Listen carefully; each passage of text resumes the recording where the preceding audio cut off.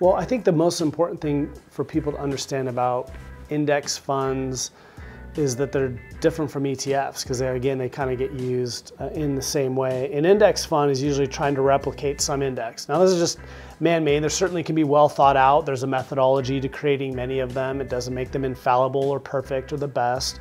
Um, but the S&P 500 is an index, the Dow Jones, the Russell 2000.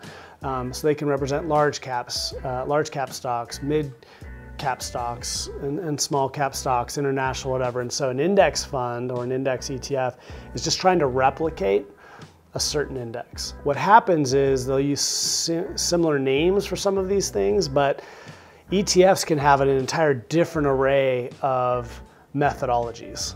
Uh, so it might say S&P 500, but it doesn't necessarily mean it's just going to track the S&P 500 for better or for worse.